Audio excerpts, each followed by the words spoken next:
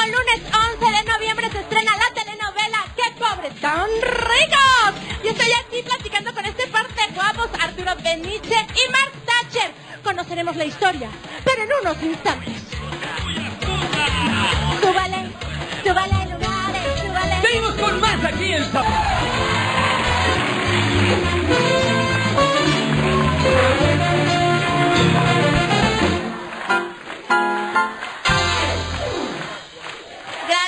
Amigos, estamos en la intimidad con Pamela desde Ecatepec del parque.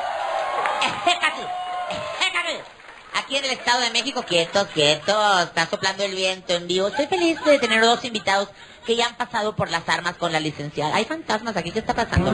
Sí, ya, ya me los había cenado. Son grandes actores los dos, son carismáticos los dos, son muy talentosos, polifacéticos, cantan los dos, tienen sus parejas y están felices de estar juntos en este proyecto, este nuevo proyecto que sin duda va a ser una extraordinaria novela, como todo lo que nos tiene acostumbrado que hace esta gran productora amiga mía, íntima, Rocío Campo. Está aquí el elenco de ¡Qué pobre tan ricos! Marta Thatcher, el señor Arturo Peniche.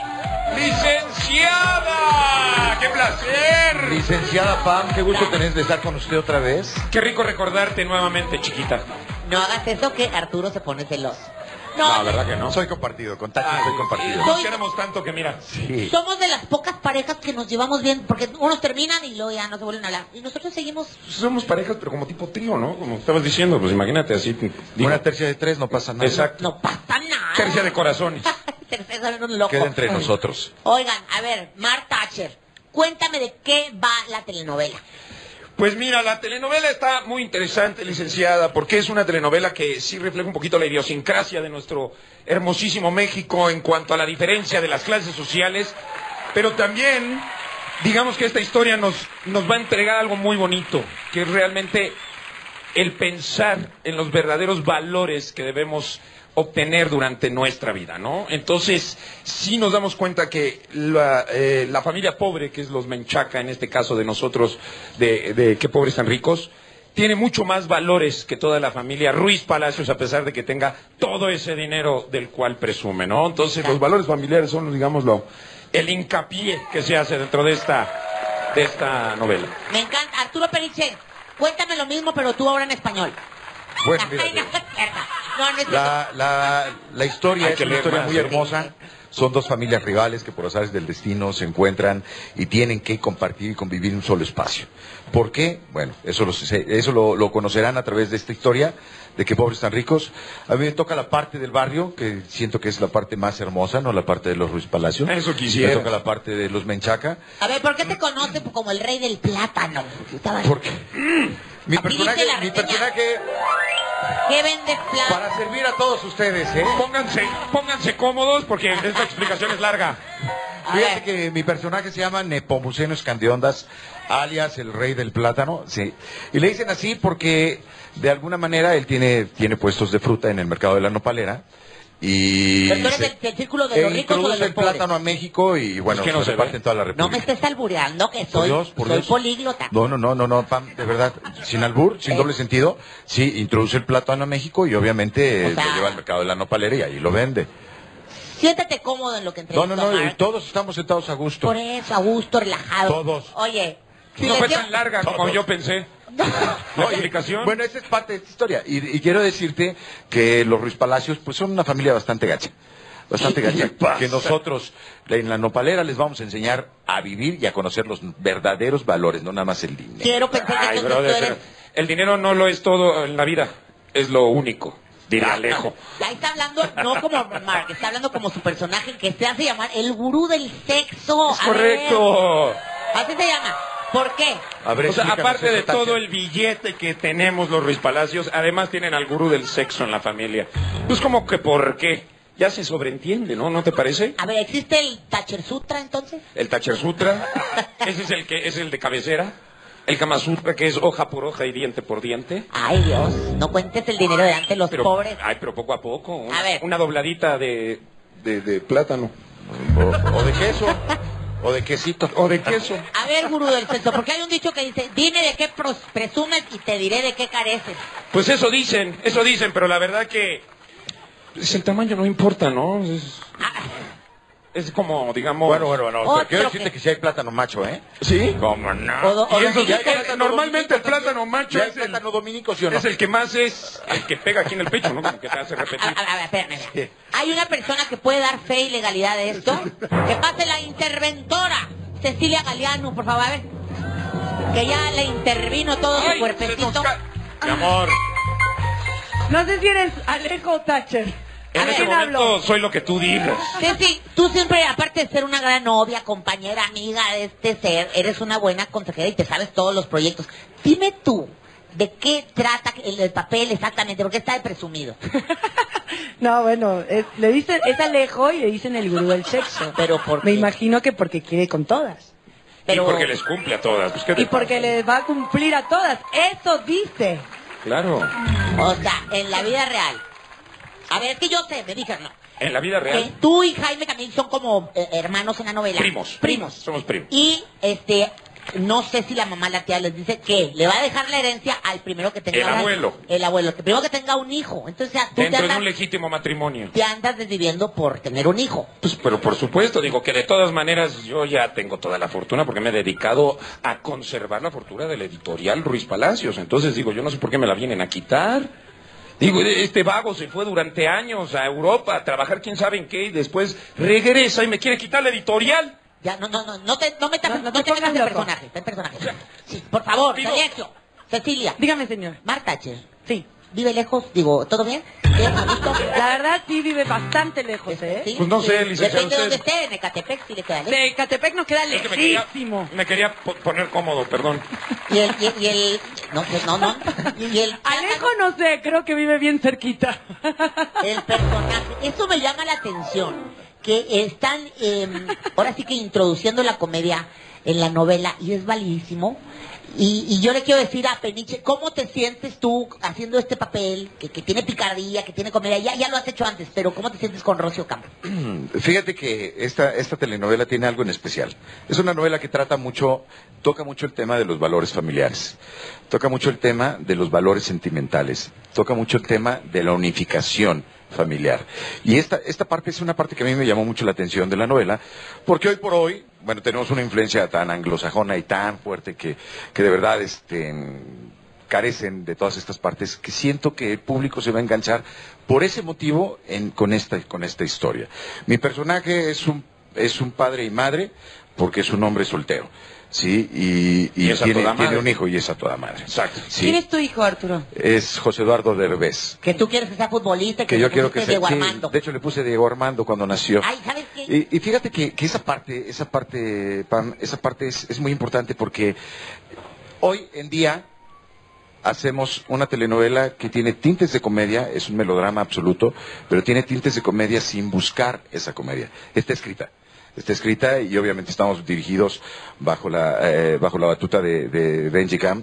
Claro, de Benjamín Camp. precioso. Y, y nos está llevando muy bien, nos está llevando muy bien y obviamente la producción de Rosy, tú sabes que es una gran productora. Lo y sabemos. todo lo quiere perfectamente bien hecho y así está hecha esta novela. Rocio Campo venía para acá, le íbamos hasta festejar su cumpleaños, pero por el tráfico creo que ya ni alcanzó.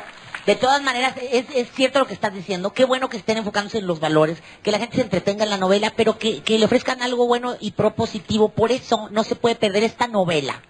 Qué pobres tan ricos, con Jaime Camil, con Suria Vega, con Arturo Peniche, con Mark Thatcher, con eh, José Eduardo. Verdes, con Marx, Raquel Pascón, Silvia Flaco Pasquel. el Flaco Ibáñez, una No, leyenda normal. Silvia. Saide Silvia. Es una maravilla de elenco, la verdad. Y Sí. Doña bien- Labat. Eh, ¿Saben? Ya, no me den Doña más detalles porque yo quiero poner imágenes para que la gente se dé una idea de la calidad que van a ver, señores. No se Con pierda Gaby Zamora también. este lunes 8.25 de la noche, Canal de las Estrellas. Señores, esto es lo que va a pasar en la novela. ¡Qué pobres! Tan ricos. Están ricos.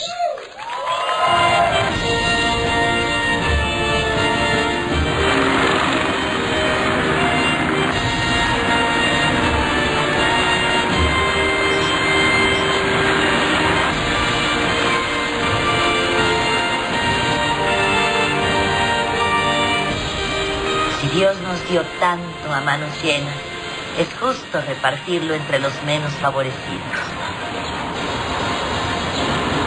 Mamá, perdón, pero ¿nadie piensa trabajar en esta casa? Ni que fuéramos pobres. Frida está en la preparatoria. Leonardo es un gran artista. Y yo, pues, soy una dama de sociedad. ¿Qué me dejaste a mí, tontito? Yo hubiera venido hace horas a sacarte. Desde que te fuiste a Londres, te desentendiste de nosotros, de tu familia. Nunca has estado cuando yo te he necesitado. Y de verdad te he necesitado. Me enteré que estaban en junta de consejo. Por cierto, aprovecho para confirmarles que estoy dispuesto a compartir la presidencia del corporativo hasta que se cumpla la cláusula de mi abuelo, don Aureliano.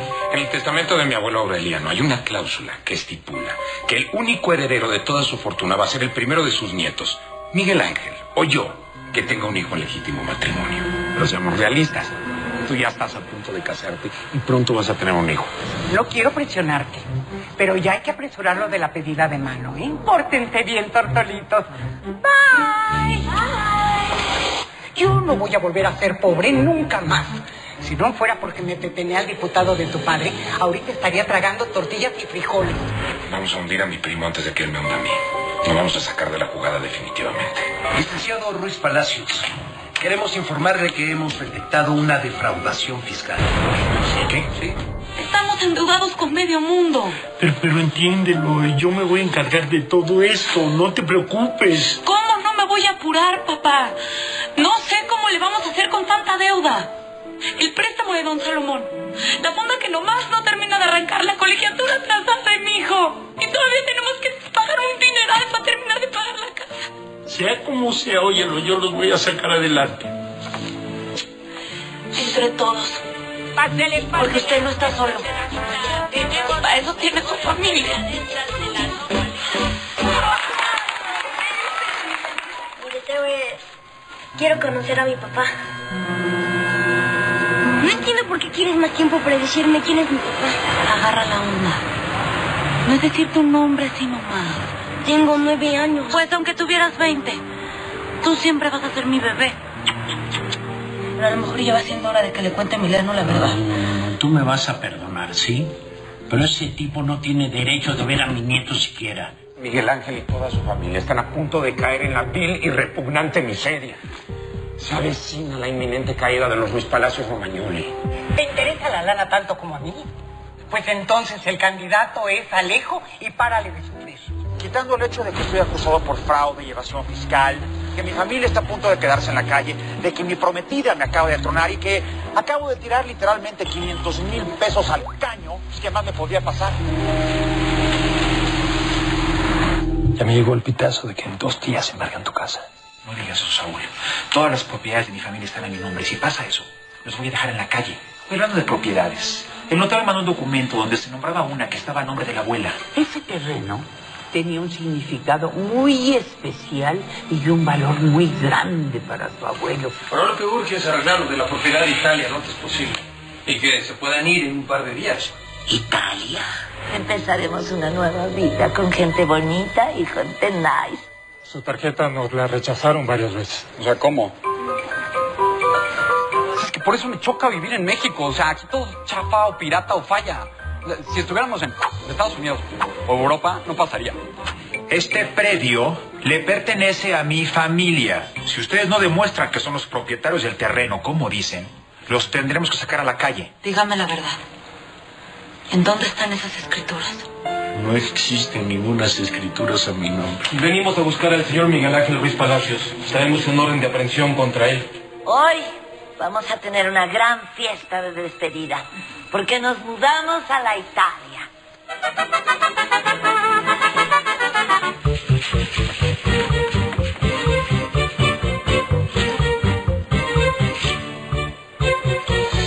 Entonces, ¿dónde pretendes esconderte?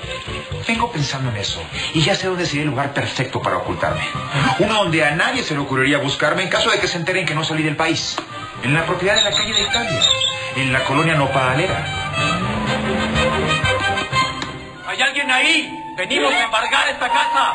Si ubicas que una mujer de la nobleza nunca andaría con un nuevo pobre como yo, porque eso soy, ma.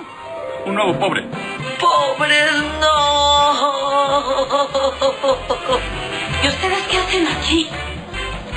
Angelo, ¿qué hacemos aquí? Ser muy divertido. ¿Estás de acuerdo? ¿Tú crees? Vivir como vive el pueblo por unos días. Pero ¿cuándo se ha visto que los dueños de toda una vida tengan que compartir su casa con otra gente, mija? Somos los Ruiz Palacios Romagnoli, dueños de la mitad de México. Y la otra mitad no la compramos porque es bien feuqui, como dice mi bambino. Lupita de mis amores. Qué milagro que nos visita tan temprano. Pasé a dejar a mi hijo y luego quise aprovechar para venir a promocionar la fonda. El negocio se amplió. ¿Y eso de andar más en frega que nunca es para sacar los gastos del diario? ¿O por el ano que necesita para pagarle la casa a los estirados esos? Todo lo que hay en el testamento y lo que va a heredar el próximo presidente del corporativo respaldado. El chalet en los Alpes suizos. Uy, el bungalow en Cancún es precioso, es precioso. Predio en la colonia La Nopalera. ¿Dónde es eso? Entre que si son peras o son manzanas, vaya y chequeme ese inmueble, por favor. Estoy desesperado por salir de este problema en el que jamás me hubiera querido meter y mucho menos meterlo a usted. ¿O piensan que estoy yo feliz de esconderme en este chiquero? ¿Cómo dijo? ¿Chiquero dijo? Vamos a hacer lo que tengamos que hacer hasta que se hartan. Que vayan por su propia cuenta. Así que ya saben, familia. De aquí en adelante arrancamos con el plan. Cuchileando a los Ruiz Palacios. Vamos a cuchillar a los Ruiz Palacios. ¿Qué quiere que le haga? Mechas, extensiones, alaciado express. ¡Ay! Ya, o sea, no puedo creer que hay un solo baño en esta casa. Guadalupe, sería tan amable de proporcionarme más agua caliente. Qué encajoso que es de veras. Aquí cada quien llena su cubeta. Dios mío, perdóname por lo que voy a hacer. Pero mejor cierro los ojos y no veo lo que me voy a llevar a la boca.